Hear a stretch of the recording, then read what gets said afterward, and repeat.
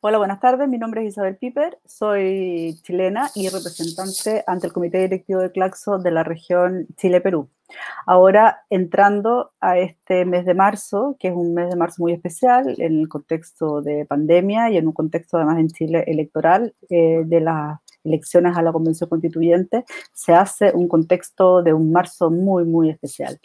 Tenemos que recordar que hace un año, eh, en plena revuelta popular, una revuelta popular que comenzó en octubre del 2019, tuvimos en Chile una manifestación del 8 de marzo que se dice que es una de las manifestaciones más grandes en la historia del país, ¿no? Con mucha efervescencia, con mucho entusiasmo, con mucha mística y con un movimiento feminista que ya llevaba eh, un par de años de trayectoria y que tenía una fuerte, un fuerte posicionamiento en las calles, en las redes sociales y comunitarias y en las diversas organizaciones sociales, ¿no?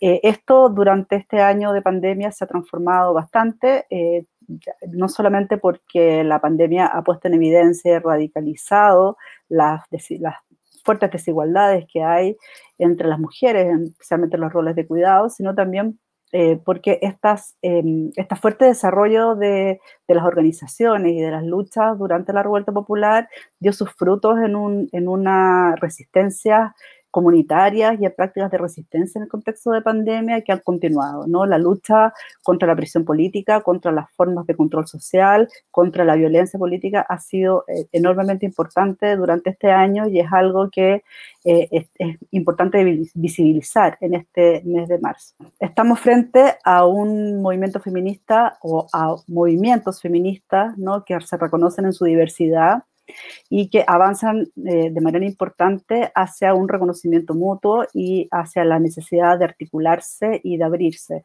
de desarrollar feminismos plurinacionales que reconozcan y respeten la diversidad de clases, de pertenencias eh, nacionales y de cultura.